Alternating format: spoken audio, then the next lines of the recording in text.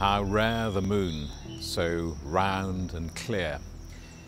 With cup in hand, I ask of the blue sky. I do not know in the celestial sphere what name this festive night goes by. I want to fly home, riding the air, but fear the ethereal cold up there. The jade and crystal mansions are so bright. Dancing to my shadow, I feel no longer the mortal tie.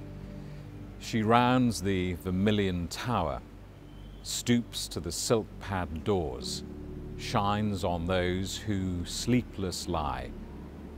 Why does she, bearing us no grudge, shine upon our parting, reunion deny? But rare is perfect happiness. The moon does wax, the moon does wane, and so men meet and say goodbye. I only pray our life be long and our souls together heavenward fly.